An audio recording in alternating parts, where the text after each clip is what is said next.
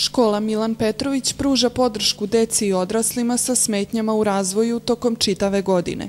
Dnevni boravak i servis za čuvanje dece ne prestaju sa radom tokom letnjeg raspusta. Roditelji rade, za njih nema letnjeg raspusta, za njih su godišnji odmori, a obzirom da su deca sa smetnjama u razvoju gde im je potrebna dodatna podrška, ipak e, treba poveriti nekome ko poznaje njihovo dete na čuvanje, tako da je tako i servis nastao na osnovu ankete roditelja za, tom, za, za, za, za tom uslugom.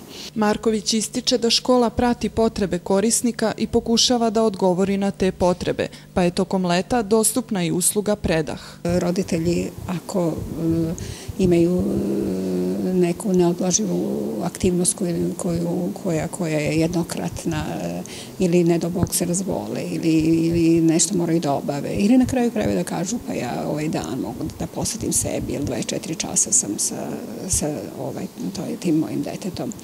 E, tako da je ta usluga predah e, na, namenjena na, u te svrhe da roditelj može da ostavi svoje dete, kad kažem dete mislim i na malu decu i na odrasle i da onda naša podrška bude u smislu kadrovska, prostorna, koje opet, kažem, podržava grad Novi Sad. Ovog leta škola je za svoje korisnike organizovala i kamp životnih veština na Čeneju. Tamo je ove godine, 2017. dve nedelje proveo, e, proveo 31 korisnik dnevnog boravka. U prvoj nedelji njih 18 i njih 13 u drugoj nedelji. Tamo su imali prilike da stiču neka znanja i veštine važne za, za svaki dan, najviše vezane za životne veštine, kao, kao što i sam naziv kampa to kaže. Pored toga i socijalne veštine, prolazili su neke terapijsko-tretmanske aktivnosti, naravno kreativne aktivnosti, sportsko-rekreativne.